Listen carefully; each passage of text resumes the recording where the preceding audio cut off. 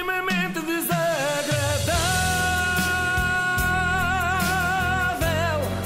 É mais forte do que eu. Eu ontem aborreci aqui os aficionados e Então. como gosto de dar uma no cravo e outra. Então, diz a Inês como se não tivesse estado cá, a sério, não gostar. E como gosto de dar uma no cravo e outra na ferradura, até porque a ferradura não sofre nem nada, hoje quero chatear os apoiantes do PAN. Só para não acharem que de repente, lá porque critiquei a tourada, sou um deles, não é? Não sou. Quero deixar isto aqui bem claro.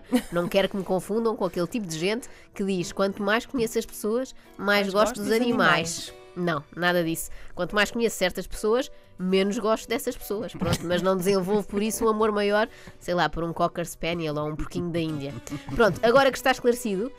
Ah, e que as pessoas já perceberam que é tão improvável verem-me na próxima marcha da Animal com aquelas roupas que parecem um pijama e que se vendem no Andanças, como na grande corrida RTP no Campo Pequeno, podemos seguir em frente. Esta Portanto, eu não senhora- estou nem de um lado nem do outro, estou no meio.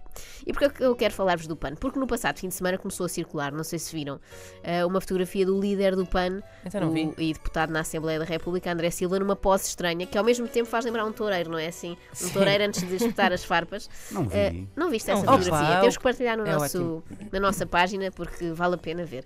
Ah, e foi tirada durante uma aula de biodanza. Eu primeiro pensei, que má onda, não é? Irem sacar imagens do senhor num momento privado e espalharem nas redes sociais. Não se faz. Até que percebi que não, nada disso. Foi ele que incentivou a coisa. Ele levou um jornalista e um fotógrafo do Observador para a sua aula de biodanza. Portanto, deixei de ter pena nesse momento.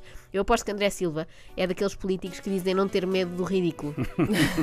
erro, é um grande erro. Há certas coisas na vida que devemos sempre temer, tipo catástrofes naturais, doenças incuráveis e o ridículo.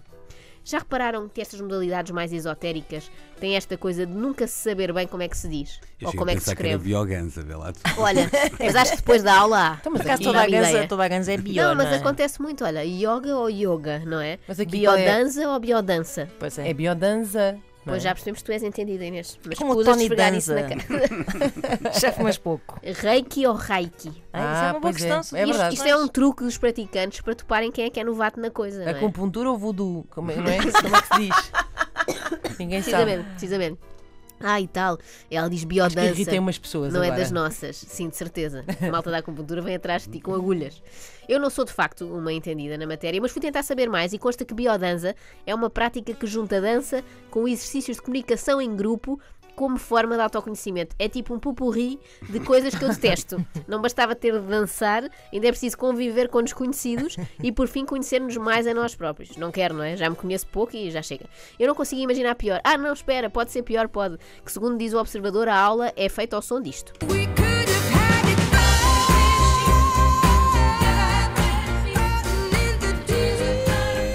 Imaginar-se numa rodinha pegando na mão suada de um estranho, aquele suor assim quente, enquanto ouvem isto. Eu, naquela parte do Rolling in the Deep, eu imagino-os a rebolar pelo chão enquanto o professor, ou mestre, né? normalmente são mestres, diz: Fechem os olhos agora e imaginem que são uma alface do Lidl. É assim que eu imagino uma aula de biodança, não é? Porque tem o lado do bio, não é? Dos legumes, e tem a dança escanifobética. Mas parece que é muito mais do que isso. Diz aqui na, na reportagem que cada exercício tem uma espécie de moral.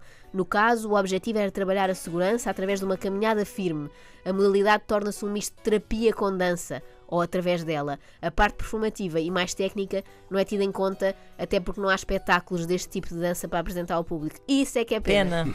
Adorava ver, não é? Podíamos Pena. combinar todos, íamos ver um show de Mas ali é biodança. o Maria Matos, ver Sim, o sim. sarau da biodança. Sem fotografia já parece tão interessante, eu nem imagino ao vivo. Bem, o que me espantou mais na fotografia da aula nem foi a biodança em si, mas sim descobrir que André Silva é aquele tipo de homem que usa fato de banho para fazer ginástica. Não sei se repararam nisso, tinha um fato de banho assim florido. Reparei. Eu nunca percebi isso. Tipo Borat, assim. Não, não é? Não, não, não, não era um triquini. Bom, eu, o Luís Era mesmo que ver a um- foto, me está a imaginar pior. calções de banho. Fato de banho normal, convencional, umas bermudas. Só que quando eu vejo estas pessoas eu penso assim, o que é que elas usam depois para ir à praia? Fato de treino, não é? Não É faz o, é o triquini do Borat. Se Claro. calhar é. Isto é uma das questões que mais me intriga no mundo. Eu penso muitas vezes nisto antes de adormecer à noite. Eu imagino que sim. Ai, homens que vão ao ginásio de fato de banho. E Porquê? depois? E depois, depois, E depois na praia? Não é? Fico Pois é. muito, muito, muito intrigada. Eu não sei quanto a vocês, mas com o que aprendi hoje, a biodança passou diretamente para o meu top 3 de modalidades a evitar. Qual é assim a vossa modalidade A minha modalidade Menos preferida. É pá, ski. mais. de- Ah, pois. E neste momento então, mais difícil. epá, eu zumba. a estas muito Zumba. alternativas. É? Achas Zumba, pior? Ah, eu, por acaso, Mas na eu zumba não ainda tens de falar com zumba. ninguém.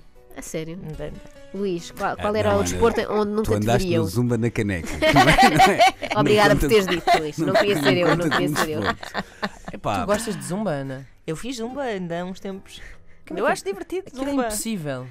Mas uma pessoa está ali, ou lá um aquelas reggaeton. músicas que ela gosta, pois. eu assusta-me aquelas Eu aulas. sinto que de repente tenho que ir para o espetáculo, não sei, dançar com a Nicki Minaj e ninguém me preparou para isso, não é? Pois. não sei, não tenho Mas, conhecimento para mas aquilo. repara, aquilo é bom uma pessoa que para suar e andar a fazer figuras tristes atrás, assim, a correr atrás dos outros. Pelo e- menos não há parte do autoconhecimento, como na Pois, é biodança. verdade. Claro. Eu assusto-me aquelas aulas que Não, têm não, não. e bicicletas. Ah, sim, essas sim. são de Olha, Não essas são um nome. Sabes mas que tem. tem É, spinning, aí, sim. spinning, Essas são as minhas preferidas porque não envolve falar com absolutamente ninguém, nem envolve movimentos. Estás só naquela bicicleta. Eu Ah, disso sim, gosto mais. disso É gosto pá, mas estás a arfar e ficas depois com os, com os glúteos feitos num oito. Não, a Verdade. ideia é essa.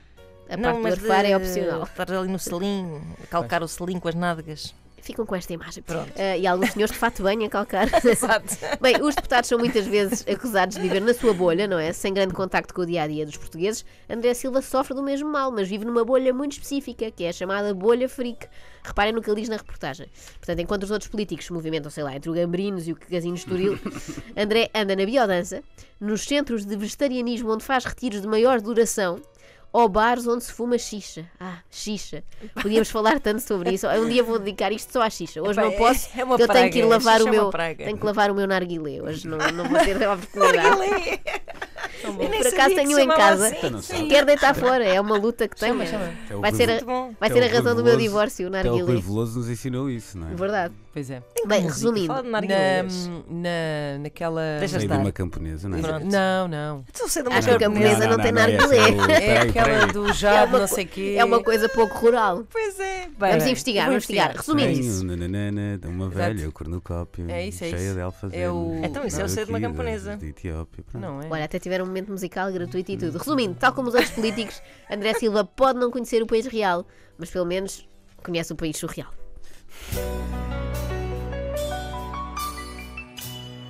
Extremamente